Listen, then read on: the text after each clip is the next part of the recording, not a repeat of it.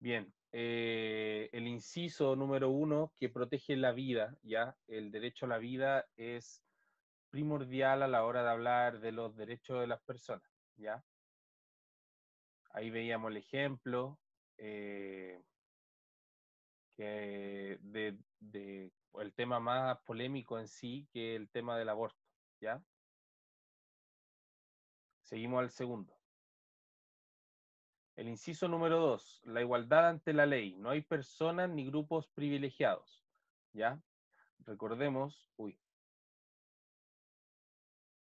Recordemos el tema, sin ir más lejos, eh, cuando hablamos de la República, ¿cierto? Eh, y que el hecho de que exista una constitución tiene que ver con este tema de que todos son iguales ante la ley, ¿ya?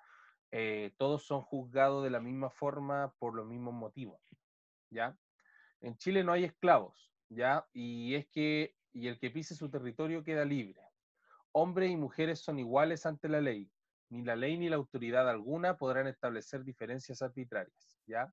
Gran parte de los chilenos no creen que se respete esto, ya que varios grupos privilegiados con famosos, como famosos, políticos, gente adinerada, encuentran la forma de zafarse de la ley, de lo cual debería suceder en un país democrático. Ya hoy en día eh, este tema es un tanto polémico, ¿ya? Y se le ve de esta forma por el hecho de que eh, se lleva a cabo muchos temas que, por ejemplo, sin ir más lejos, tenemos aquí el ejemplo de Arturo Vidal, ¿cierto? De cómo una persona puede zafar rápidamente de algún tema jurídico o judicial por ser famoso, ¿ya? Eh, eso no tiene que ver netamente con que haya igualdad ante la ley, pero sí quizás con los procesos, ¿ya? Es muy importante eso a considerar, a pesar de que en el papel, en lo legal, en lo oficial, nosotros somos todos igual ante la ley. Probablemente Arturo Vidal después igual tuvo que pagar alguna multa y todas esas cosas, pero lo que se reclama es que lo dejaron jugar, seguir jugando igual. Por ejemplo, siendo que a cualquier persona común y corriente lo habrían llevado detenido, hubiera pasado unos días en prisión preventiva, quizás, qué sé yo. Bien.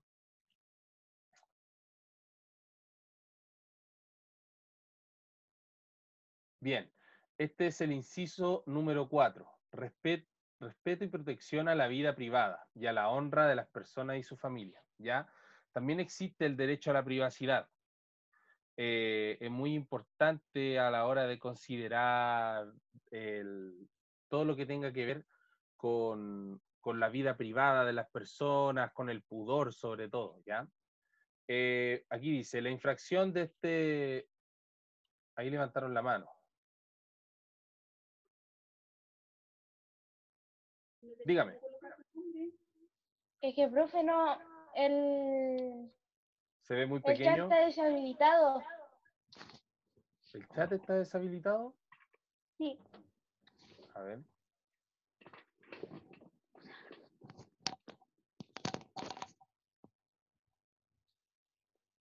Ahí lo abrí. Pero claro, no hay nadie. Nadie habló. Ahí estoy escribiendo. Aló. Aló. ¿Lo ven ahora? Sí. Bien.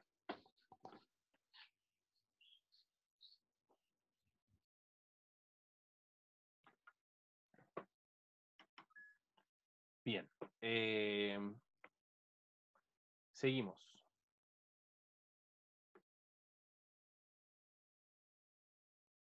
Oh.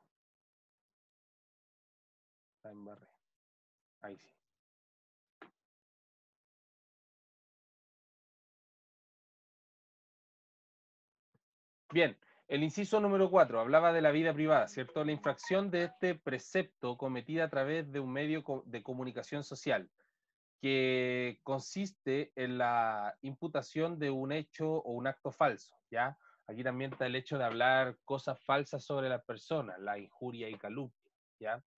Y esto por lo general los vemos involucrados en temas de famosos también, ¿ya?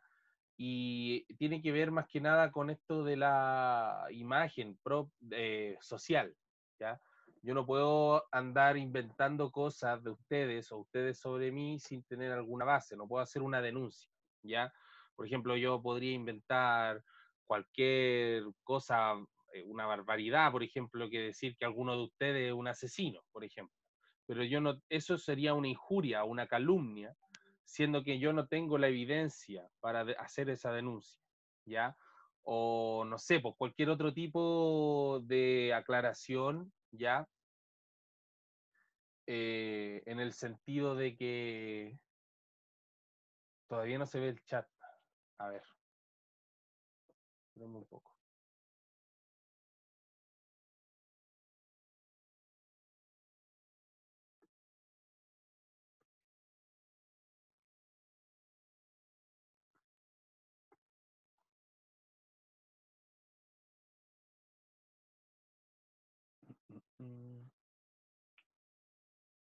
Vamos a hacer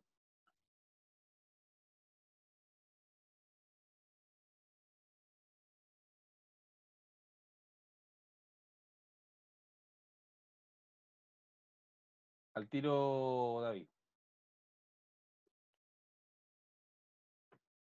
Enseguida lo atiendo, señor. Bien, ahora se ve toda la pantalla, ¿cierto?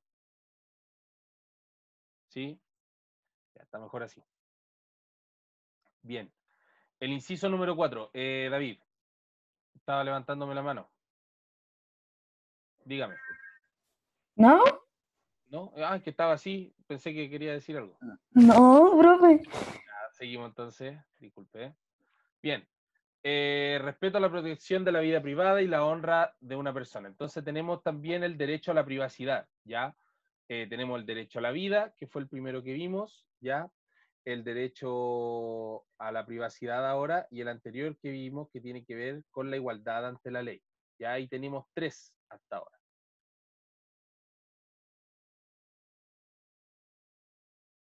el inciso número cuatro, que es la inviolabilidad del hogar, ¿ya? Que este tema de la protección de la propiedad privada, en el. De que yo no puedo, o sea, de que es ilegal entrar a una propiedad privada sin el permiso de su dueño. Por ejemplo, yo no puedo entrar a la casa de una persona, eh, llegar y entrar, digamos, porque no es mi casa ni vivo ahí, ¿se entiende? Eh, el hogar solo puede allanarse eh, y la, o sea, un allanamiento es cuando por orden legal se puede eh, llegar y entrar a una casa, que por lo general cuando lo ocupan para llevar detenido a algún delincuente o algo así. Eh, ¿Quién está levantando la mano? Por favor, que vuelva a apretar el botoncito para poder verlo. El botoncito de abajo. ¿No? Eh, bien. El que viola la intimidad de la vida personal, ¿cierto? Eh, escuchando o registrando un hecho, también tiene que ver con esto. Yo no puedo llegar y grabar dentro de una propiedad privada o tomar fotografía, ¿ya? Todo esto tiene que ver con el tema de la protección, de la privacidad y también de la propiedad de las personas. Sé que en materia densa, ¿ya? Eh, por ejemplo, acá está claro un ejemplo de las noticias, ¿cierto? Eh, de cómo, de cierta forma, programas que tratan de denunciar eh, informalmente, por decirlo así, se meten en problemas constantemente en el sentido de que me está llegando un WhatsApp, profe, estoy levantando la mano yo hace rato. El número desconocido, no sé quién está hablando.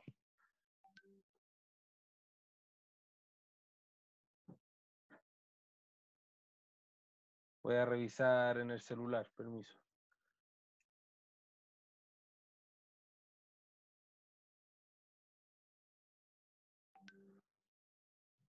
Ah, ya pues. Pero no te veo, Trini. No sé por qué no me aparecía acá. Debería ya aparecer.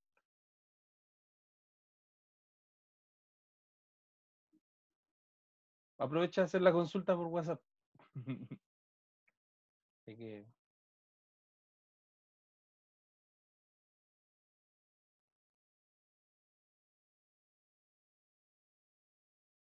Bien, como decía, eh, no es llegar y grabar la vida privada de las personas, no es llegar y, por ejemplo, yo o cualquier persona no puedo llegar y sacarle fotos a ustedes, por ejemplo.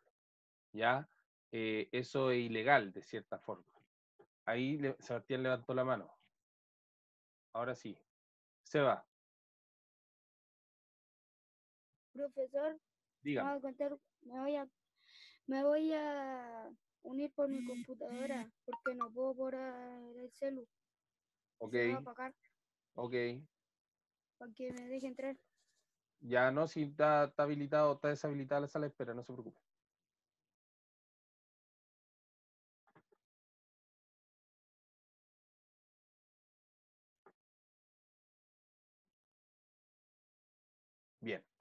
Eh, como decía, el programa en su propia trampa ya pasaba a llevar estos derechos de cierta forma de la persona, a pesar de que la intención era buena, ojo con eso, eh, pasaba a llevar los derechos.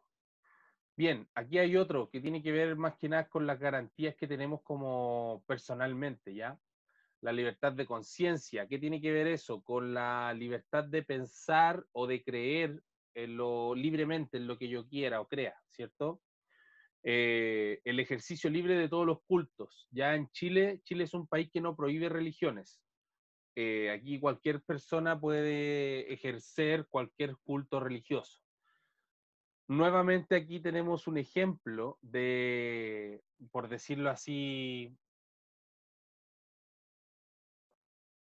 por decirlo así, de cierta forma, de cómo se mal utilizan muchas veces estas garantías, ¿ya?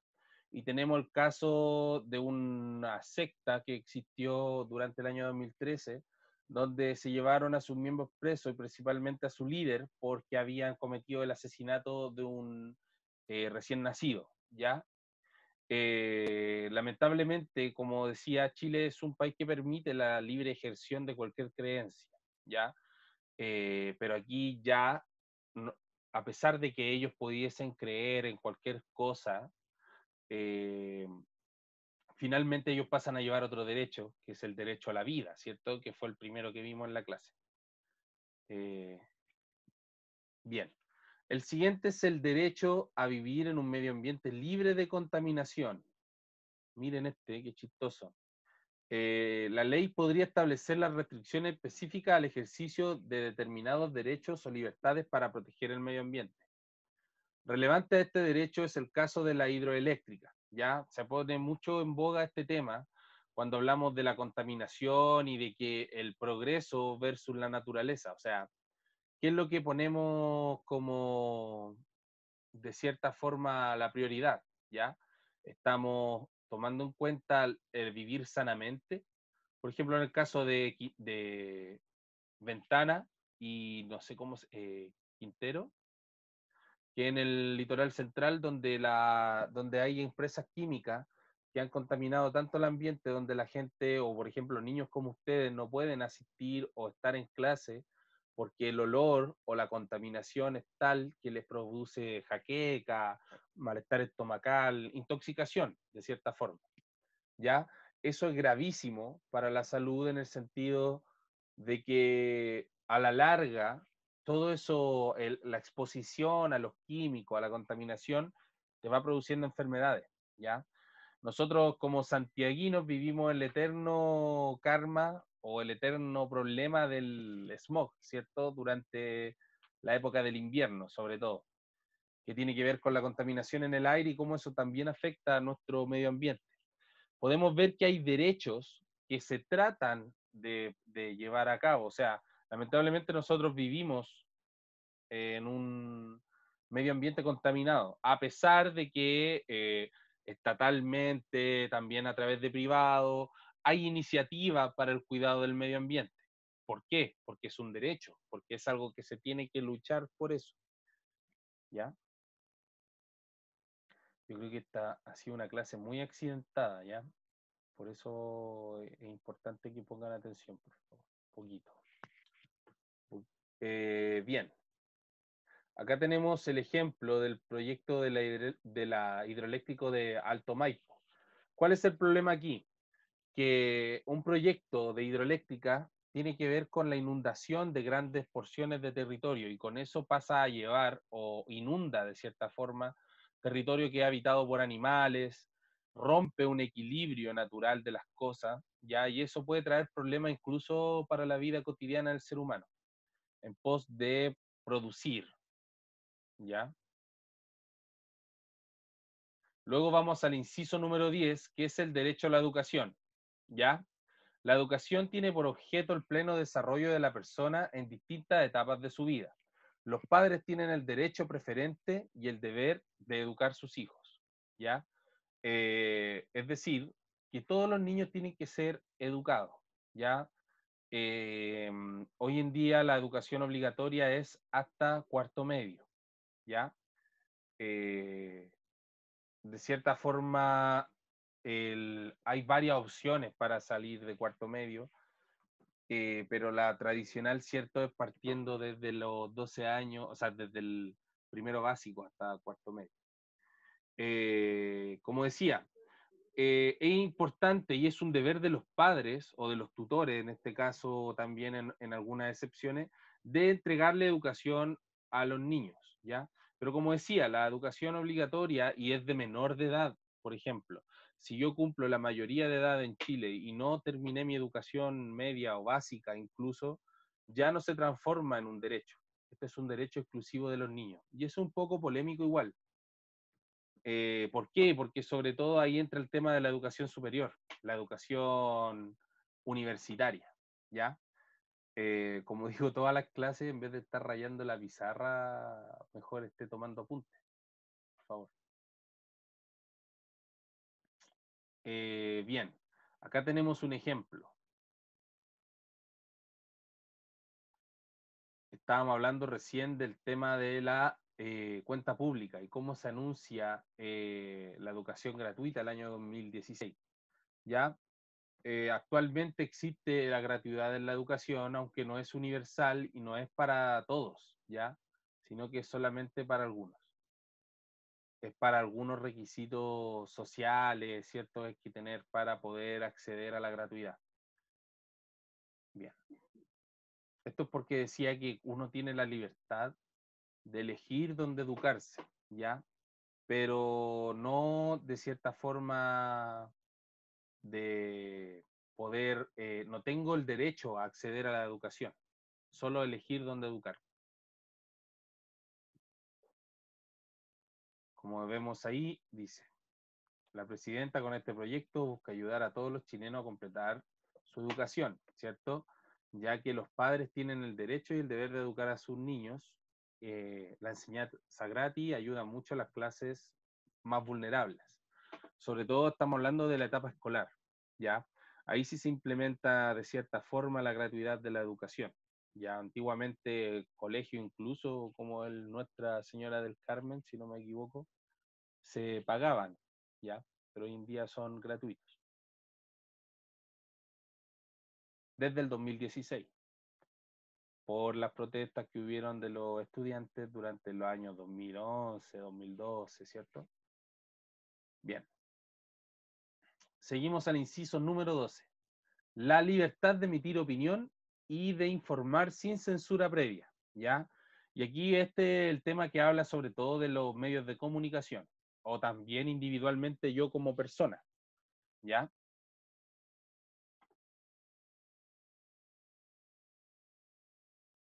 Bien. Como decía, la libertad de emitir opinión, ¿ya? Eh, tiene que ver con la de informar sin censura previa, en cualquier forma o por cualquier medio, ¿ya? Eh, ¿Qué tiene que ver esto? Con el de que puede haber cualquier tipo de medio de comunicación y ese puede enfocarse o hablar de lo que ellos quieran, ¿ya? En muchos países hoy en día esto se ve censurado o se ve delimitado, por ejemplo en China, ¿ya? En Venezuela creo que se censuran ciertos medios de comunicación o ciertas expresiones. Por lo general va, con, va de la mano con los temas de las dictaduras, ¿ya? Eh, antiguamente en Chile, cuando estaba el régimen militar, también se censuraba la libertad de expresión, sobre todo con el tema de, de, la, de las políticas de izquierda o ideologías de izquierda, ¿ya? Se censuraban constantemente. Seguimos.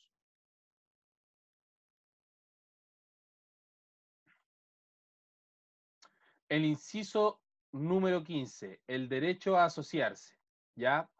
Eh, para gozar de personalidad jurídica o asociaciones que deberán constituirse en conformidad de la ley. Esto tiene que ver con las agrupaciones, ¿ya?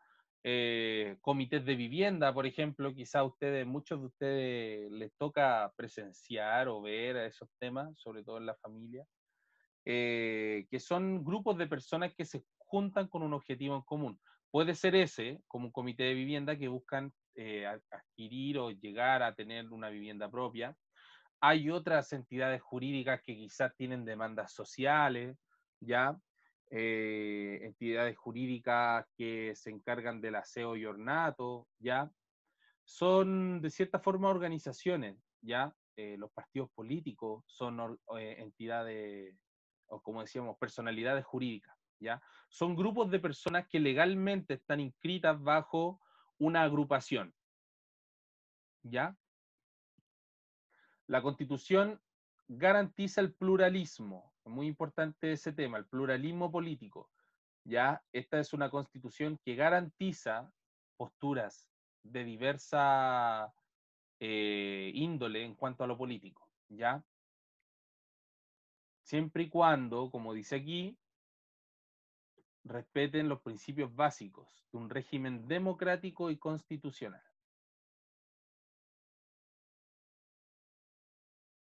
Seguimos. Eh, aquí tenemos, por ejemplo, el tema, ya eh, condenados de las Fuerzas Armadas por violar los derechos humanos durante la época del régimen militar, ¿ya? Eh, los condenados por el juez Miguel Vázquez corresponden a funcionarios de distintas ramas de Fuerza Armada por asociación ilícita y secuestro. ¿Ya? Aquí se puede observar, como dice aquí, un claro caso de asociación ilegal. Ojo con eso.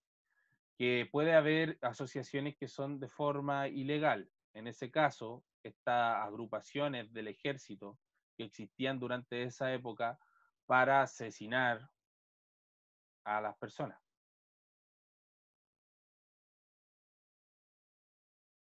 Eh, grupos anarquistas o grupos terroristas también que se alejan un poco de la idea de la dictadura, si nos vamos, si queremos ver otro ejemplo. Eh, también son grupos que son de asociación ilegal para el marco jurídico de la Constitución, ¿ya? Y muchas veces pueden actuar fuera de la ley, alterando el orden público, pasando a llevar cualquier derecho.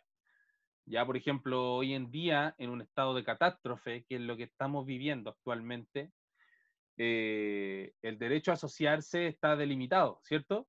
Y a la agrupación en general, porque el presidente lo dijo el día que declaró el estado de catástrofe, que no pueden haber reuniones de más de 50 personas, por ejemplo, eh, ni en privado ni en las calles. ¿Y qué pasa con eso? Inmediatamente no puede haber gente que proteste o marchas ¿cierto? Porque eso lo transforma inmediatamente en algo ilegal. O sea, actualmente en estado de catástrofe, cualquier manifestación o agrupación de personas es ilegal. Se entiende, y yo comparto lógicamente que tiene que ver con el sentido de la prevención del contagio y todo eso, pero estoy poniendo un ejemplo, ¿ya? El derecho a la seguridad social.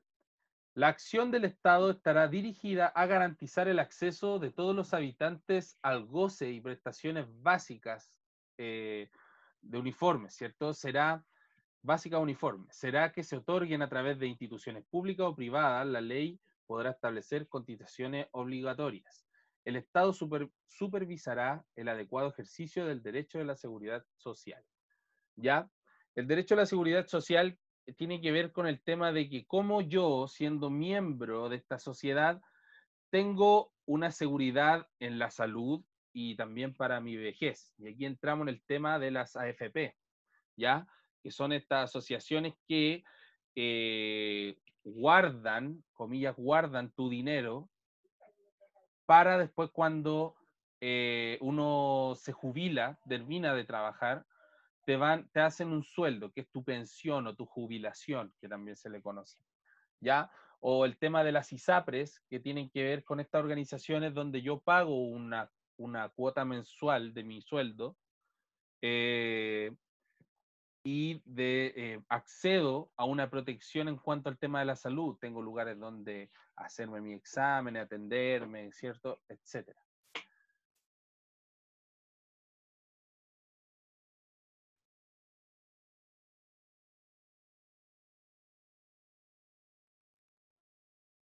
Bien. Y bueno, eso es la clase de hoy esencialmente, ¿ya? Les pido disculpas, yo sé que no salió de la forma más didáctica posible. La idea es que lo vieran en el cuadrito grande y fuéramos analizando caso por caso, ¿ya? Pero de igual forma lo vamos a grabar y lo vamos a subir, ¿ya? Eh, eso,